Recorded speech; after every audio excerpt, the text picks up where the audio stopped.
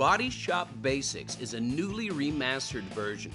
Automotive restoration expert and TV personality Kevin Tetz provides fundamental information about basic tool selection, simple dent repair, blending colors, spray gun technique, and troubleshooting, as well as the importance of proper safety techniques and equipment.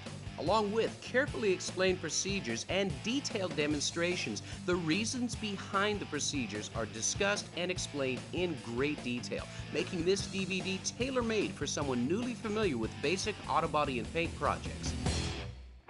This detailed and entertaining guide is the perfect introduction to the world of auto body repair.